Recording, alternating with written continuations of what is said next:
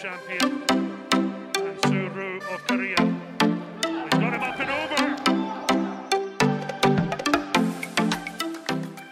The next offensive position from Greco Parterre is just your basic gut wrench. And it's going to come from the same exact setup when my opponent's crawling forward. We're gonna pin him down with our shoulder and put our back leg in the hip pocket.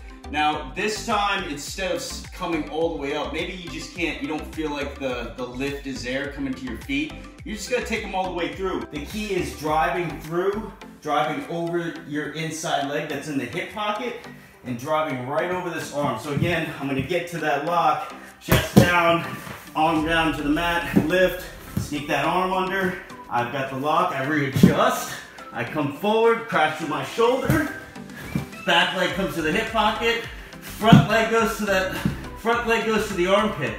Now, again, maybe I don't feel like I've got a whole lot of leverage to come up. So I'm just gonna drive up, drive through, I got the hips up, and now my bottom leg sneaks under. I've got them here loaded, and now I just pop them through. Getting to that gut wrench position, I'm gonna use the same exact setup Getting my shoulder high on the shoulder blades, pressuring down so they can't crawl forward anymore. Get my back leg pinned right in the hip pocket. Instead of lifting, maybe I don't feel like I can load them up onto my hip. I'm gonna take them through for a gut wrench. So very simple, lining up on the left again, hands down, anticipate the whistle. I get my lock, I readjust my position, my shoulder crashes right away, boom. Back leg, my right leg comes to the hip pocket, front leg goes to that armpit. Again, I'm driving, I got the right pressure. I don't feel like I can come up or load them up with my hips. My bottom leg now is my left leg. I'm just gonna punch it under, they're loaded, and now I pop them through.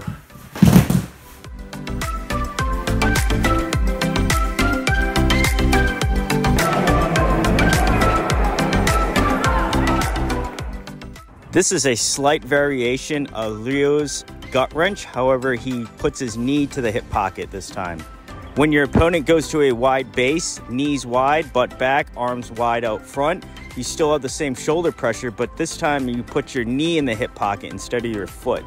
Ryu continues driving through his shoulder and over his opponent's head, and then scissors his bottom leg, the knee that was inside. Ryu now has a shelf to load his opponent up and lift and mount the throw. The final phase of the throw requires you to step your outside leg up closer underneath your opponent and then launch the throw.